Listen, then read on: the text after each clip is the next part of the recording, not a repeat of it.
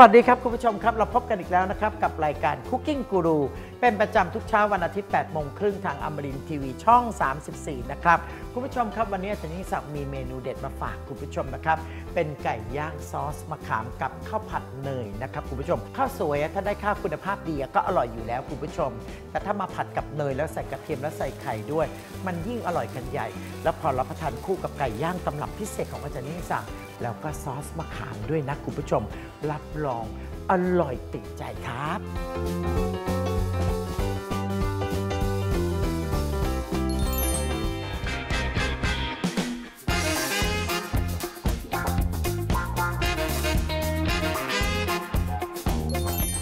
โบราณบอกนะคุณผู้ชมกินกับอย่างเดียวเดี๋ยวเป็นตาลขโมย เพราะฉะนั้นเมนูไก่ย่างซอสมะขามกับข้าวผัดของอาจารย์ ก็คงต้องเริ่มหุงข้าวก่อนคุณผู้ชม วันนี้ใช้ผลิตภัณฑ์ข้าว A Rice ข้าวหอมมะลิร้อยเปอร์เซ็นต์เลยนะคุณผู้ชม เนี่ยจารย์นี่สักเทข้าวลงไปในหม้อ มีคุณผู้ชมบางท่านเข้ามาใน Facebook หลังบ้านแล้วก็บอกว่าไม่ดีเลยทำไมไม่ซาวข้าวก่อน ต้องเรียนคุณผู้ชมนะ ข้าวเขาบรรจุอยู่ในถุงอย่างสะอาดปราศจากฝุ่นละออง ไม่ต้องซาวคุณผู้ชม ข้าวหนึ่งส่วนน้ำ1.5 ใส่ลงไปได้เลย ปิดฝา ข้าวสุกแล้วเดี๋ยวอาจารย์ยิ่งศักดิ์จะมาผัดกับเนยนะครับตำรับนี้ของอาจารย์ยิ่งศักดิ์จำเป็นจะต้องหั่นไก่ให้เป็นชิ้นค่อนข้างใหญ่ เพราะฉะนั้นอุปกรณ์ที่ใช้ในการหั่นไก่ของอาจารย์ยิ่งศักดิ์มันจะต้องเป็นของคู่มือกันจริงๆ วันนี้ใช้มีดปาดเนื้อใหญ่ 6 นิ้วครึ่ง รุ่น Kingston ตานกเพนกวินนะคุณผู้ชม มีดคุณภาพจากสีไทยจากปุ๊บนะปุ๊บเดียวขาดเลยคุณผู้ชมดูสิ ไก่หั่นมาเรียบร้อยแล้ว วันนี้คงต้องแนะนำคุณผู้ชมนิดหนึ่ง NS Mix ปลาโลโบอาจารย์นิสัตว์จะใส่วันนี้ 1 ช้อนชา เพราะไก่ประมาณครึ่งกิโล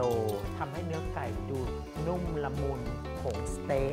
ตลาดโลโบอีกนั่นแหละ อันนี้อาจารย์ขอใช้ครึ่งซองนะเสร็จแล้วก็เคล้าให้เข้ากันคุณผู้ชม เวลาหมักเนี่ยควรจะใส่กะทิลงไปนิดหนึ่ง เพราะว่าจะทำให้ไก่ของเราเนี่ยมีกลิ่นหอมจากโคโคนัทเล็กๆ อัมพวา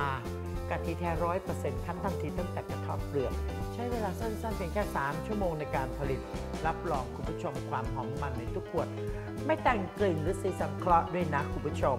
ใส่กะทิลงไปนะคะ เดี๋ยวถึงเวลาที่เราจะปิ้งจะย่าง เราก็จะทำให้มันเงาวาววับด้วยการใส่น้ำมันพืชลงไปนิดนึง แต่แบบนี้คุณผู้ชม เอาเข้าตู้เย็นไว้ก่อนปิดคลิ้งฟิล์มไว้ หรือว่าใส่กล่องเข้าตู้เย็นไว้สักครึ่งวันก็ยังดีนะคุณผู้ชมครับ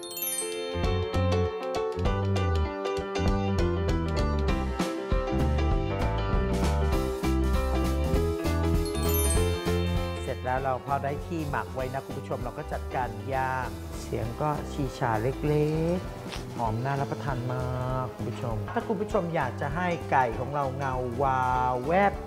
ก็น้ำมันนิดนึง อันนี้ขอเป็นน้ำมันถั่วเหลืองนะคุณผู้ชมนะมรกตรับรองจะติดใจ ในระหว่างที่รอให้ไก่สุกเดี๋ยวเรามาผัดข้าวผัดเนยตำรับเด็ดของอาจารย์ยิ่งศักดิ์กันนะครับ สำหรับตำรับนี้ในการทำข้าวผัดต้องเรียนคุณผู้ชมว่าใช้เป็นเนยสด ใส่ลงกระทะลงไปนิดนึง เราจะใส่ไข่ไก่ลงไป1ฟอง เสร็จแล้วก็ใส่กระเทียมสับเนี่ยลงไปตรงไข่นี้เลยคุณผู้ชม เสร็จแล้วก็ใช้ตะหลิวเนี่ยยียี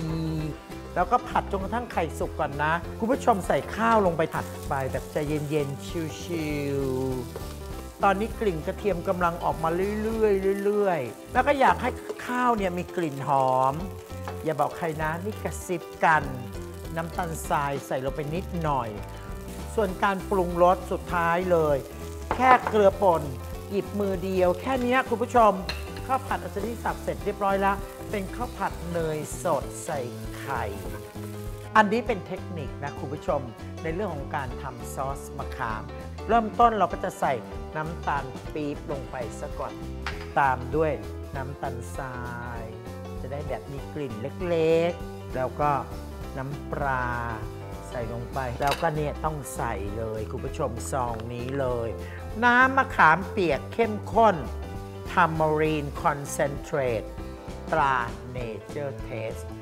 ซองนี้คุณผู้ชมครับใส่ลงไปเสร็จ เปรี้ยวเป็นมะขามแบบธรรมชาติเพราะว่าเป็นเนื้อมะขามล้วนๆเลยคุณผู้ชม เสร็จแล้วคุณผู้ชมเราก็ใช้พายไม้คนให้ส่วนผสมทั้งหมดเนี่ยเข้ากันจนแน่ใจว่าน้ำตาลทั้งหมดละลายเข้ากัน มีความเข้มข้นแบบนี้ เสร็จแล้วคุณผู้ชมเราจะใส่น้ำเปล่าลงไปพอใส่น้ำลงไปเสร็จเรียบร้อย ต่อไปนี้ก็ไม่ทำอะไรนะคุณผู้ชม ไฟอ่อนๆ แล้วก็เคี่ยวไปเรื่อยๆ คุณผู้ชมรสชาติมันจะพัฒนาไปเรื่อยๆ แล้วสีสันความข้นเหนียวมันก็จะค่อยๆมา เพราะฉะนั้นคุณผู้ชมตอนนี้พักแบบนี้รอแป๊บนะพอซอสของเราเริ่มได้ที่คุณผู้ชมปรุงนิดหนึ่งอันนี้สมัยใหม่หน่อย ซอสหอยนางรมหรือซอสเห็ดหอมก็ได้ใส่ลงไป กลิ่นหอมที่ขาดไม่ได้เลยคือกลิ่นน้ำมันเจียวหอม คุณผู้ชม ราะเราต้องโรยหน้าด้วยหอมเจียวน้ำมันก็อย่าไปทิ้ง